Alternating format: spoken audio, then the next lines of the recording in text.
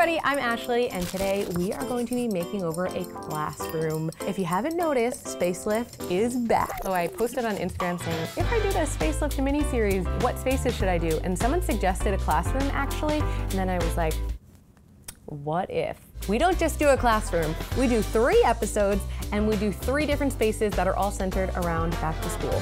So that's kind of how we ended up here. I'm so excited about it. The makeovers are going to be mini in this mini series. Uh, these are really makeovers that can be done for cheap and can be done in one day. Anyway, let's talk about today's episode. We are gonna go to Summit Academy where Mr. Schaefer and Miss Capers are co-teaching sixth grade and they have some very exciting plans for their students this year. Take a look at the video that they sent me. Hello, my name is Abigail Capers.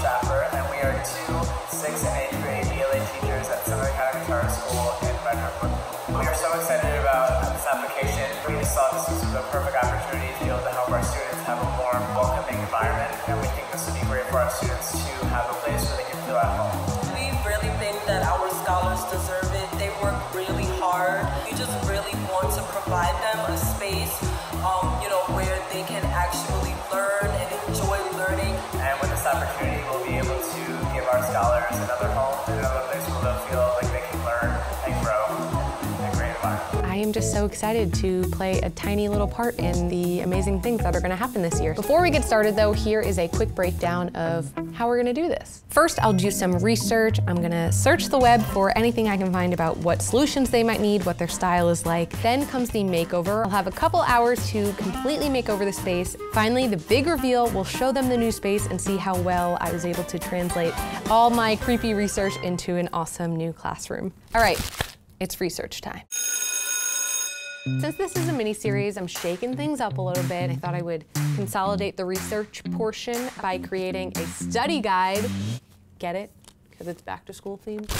All right, Mr. Schaffer and Miss Capers have been co-teaching together for two years now, but this is their first year in sixth grade. In this school, sixth grade is the first year of middle school. Last year, they were voted Dynamic Duo. Mr. Schaffer came to Summit Academy through Teach for America, and he has loved it so much that he's gonna continue teaching even after his Teach for America time is up. Miss Capers had a Pinterest board dedicated to decorations and also some dollar store organization tips. So we're gonna try and incorporate some of those into this makeover. I can just tell how much these students love their teachers. We need to create a classroom that is colorful and organized and just set up for success. All right, it's makeover time.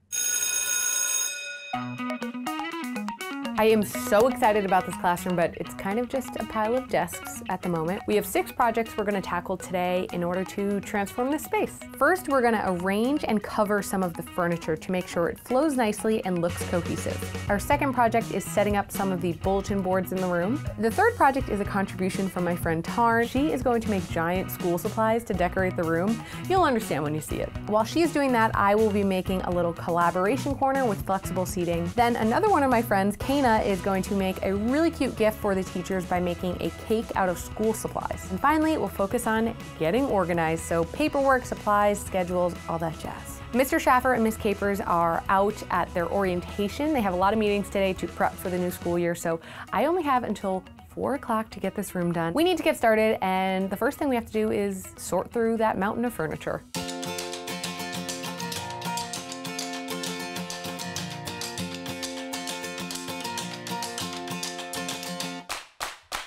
I think a big part of classrooms that is overlooked is that this space is also their office. Not only does it need to help the kids concentrate, but it needs to help the teachers concentrate. So I tried to put their desk into the corner in an L shape so that they have a designated space that kind of says, don't go behind my desk. And also they have full visibility of the room so that they can work on grading, paperwork. It's just a place for the two of them to work together. There's a lot of desks in here, but they're a little beaten up. Some are cracked, some are scratched. I am actually gonna cover them in some contact paper. I know I really abuse the contact paper thing in my videos, but it's just so easy and so temporary. And I'm always working in spaces that either they're rented apartments or places where you can't make super permanent changes. So I think it's a great solution for that sort of thing. Then we have our bulletin boards. A cheap way to cover a big bulletin board is just to use wrapping paper, which I'm sure a lot of teachers know, but figured I would mention it because maybe you're not a teacher and you're watching this and you have a cork board you'd like to cover. And this was a little trick that I actually thought of while I was in Target the other day. I bought an accordion folder that had different color dividers. And since they were laminate, I pulled them out of the accordion folder and stapled them to the bulletin board. They can almost be used as mini dry erase boards. The way I'm using them today is to outline the week and what events kids can expect, but they can use this for all sorts of things, whether it be seating assignments or due dates, anything they want the kids to have visibility into. Also, you can leave the top section of the folders unstapled so that kids can submit papers into those folders. So you can write like book reports here and then they can slip it in there. So when the next assignment comes up, you just wipe it away and they can put their new assignment in the same folder. In classrooms, a lot of times communal supplies tends to disappear. So Tarn actually had this great idea to make a stapler that is fixed to the bulletin board and actually next to that later on we're gonna have a little turn-in station for kids to turn in their papers. So there's no excuse to turn in unstapled papers and there's also no excuse to steal the stapler. Now it is time for our giant school supplies. Tarn is just a creative genius. This was actually a different video that she did making giant school supplies and when she said she was doing this video, I said, I need the finished product to include in this classroom and she happily obliged. The first project was making giant versions of loose leaf paper and a marble notebook and these are actually functional cork boards where they can hang up all sorts of things. The second thing that she made was a giant pencil and it actually serves as a place for students to turn in notes to their teacher. So maybe there's things that they're too shy to say to the teacher in person. Maybe you didn't understand something from the lesson and you're too embarrassed to ask. They can do that here. Also, a fun fact is that it actually writes. My personal favorite giant school supplies was this big eraser that she made. While Tarn was working on her giant school supplies, I got started on the collaboration corner is what I'm calling it. Miss Capers and Mr. Schaffer had mentioned that they wanted some sort of flexible seating. What I did was I took these plastic crates that you can get at the dollar store and I cut a memory foam bath mat to the size of the crate and I put some ribbons on the corner to tie it onto the crate. I also got some regular mats and pillows for the kids to sit on. That long one is from Pillowfort. It's pretty great. When they're not using this corner, they can actually put all the mats back into the crate, flip it upside down, and tuck it in the corner so that it's out of the way but easily accessible. Something I noticed on Miss Capers' Pinterest board was they wanted some sort of creative take on a student of the week so that the students could get to know each other and share a little bit about themselves. So what I did was I took a poster frame that cost me about $4. I'm realizing I'm turning a lot of things into a whiteboard today, but it's okay. What I'm doing here is I cut out paper so that it looked like a giant phone with text bubbles going back and forth. The teacher can actually write some questions and then whichever student of the week it is can reply with their answers. Our next project is another very generous contribution from another one of my very dear friends, Kana. She made a cake out of school supplies. I think it is such a cute way to give a practical gift to teachers. I'm sure they love coffee mugs, but in reality, they've got 20 dried glue sticks in their room. So I think this is a fun way to give something that they can really put to use in the classroom.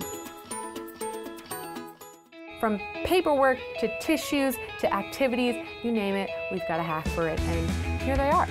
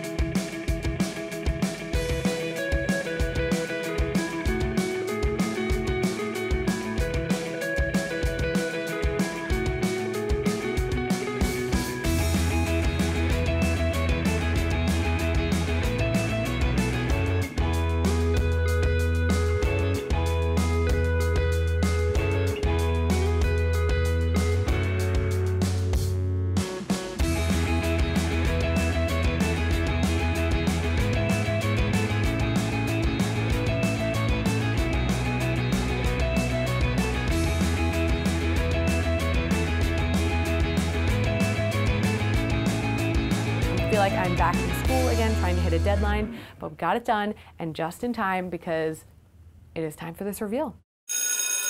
I want you guys to envision your old room, what it was like, how it made you feel. Do you have any words to describe how it made you feel? Um, inspired to do better. Ooh, I like that. I think we have done better. Are you kidding? Oh my god! What? Oh wow. my god. This is amazing. That's insane.